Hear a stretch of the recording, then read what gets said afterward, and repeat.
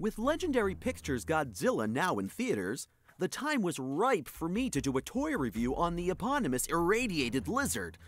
And what better to choose than a figure from my beloved Figuarts line? Actually, Godzilla is part of their SH Monster Arts subline, featuring all sorts of kaiju from Japan's catalog of man in suit films.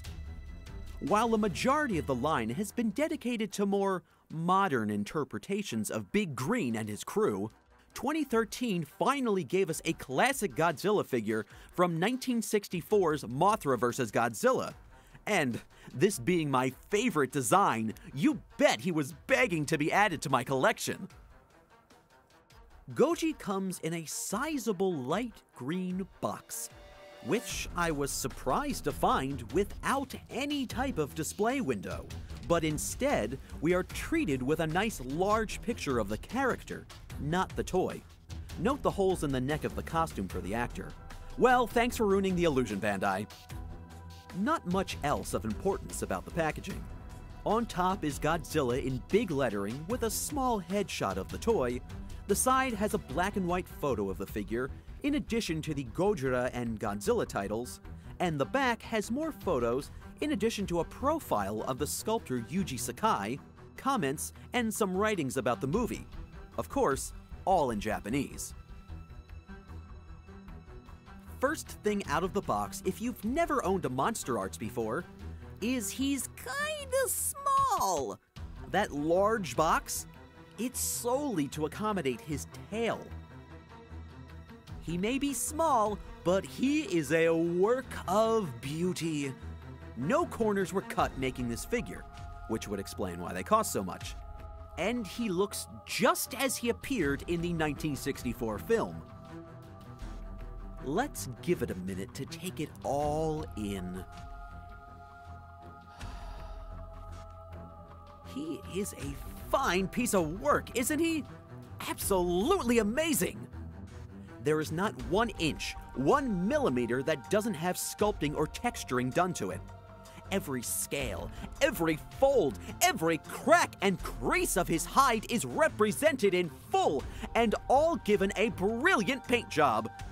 Primarily a dark charcoal gray mix, with off white used on his scales running down his back and ending at his tail and his nails, though he does receive minimal dry brushing to his knees and a faded stripe down his abdomen, in addition to a slight brown applied to his brow. While we're there, how about we examine that face? Beautiful! He has that menacing mug, and everything about the 64 Goji is on model. The big, piercing eyes, the tiny snout, the bunchy cheeks, and the exposed canines. Hey, Goji! Open up! That's right, his jaw has the ability to open up, giving us a fantastic look at the inside of his mouth. Oh, the teeth, the tongue, and look! Even the roof of his mouth is sculpted in! Go back to his eyes.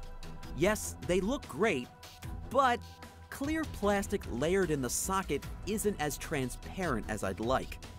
As a result, it's sometimes hard to make out his pupils because everything looks cloudy. His articulation is, um, not what you'd typically expect of an action figure.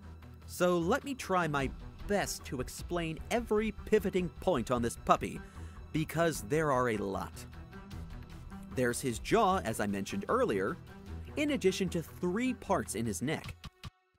His arms have a shoulder joint, an elbow which feature a scaly sleeve to cover it, and pivoting wrists. The torso has the ability to turn and rock about, and he has this interesting hip piece which spreads out, rotating thighs, a double bend at the knees, ankles, and a cut halfway down his foot.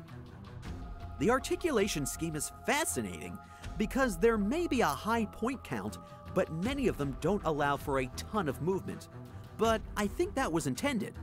Each small movement comes together to form a whole larger movement, giving you the range of motion. Some joints are incredibly tight. Just listen as I try to raise an arm, while others give you a standard level of resistance. don't think I forgot about the tail. This piece is almost its own entity, so I thought I'd address it separately.